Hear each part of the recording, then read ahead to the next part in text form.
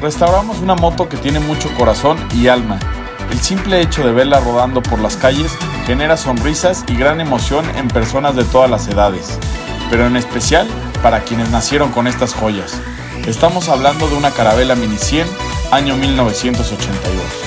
Encontramos la moto sana, pero con un trabajo brutal por delante. El proyecto de restauración consiste en irnos a fondo, desarmar la moto en su totalidad para los procesos de sandblast, powder coating, cromo, tapicería y pintura. De la mano conseguir todo lo necesario, que en este caso es muy complicado por la escasez de piezas, lo que nos lleva a fabricar desde cero ejemplares lo más apegado a la original. Llegar a este resultado final es increíble.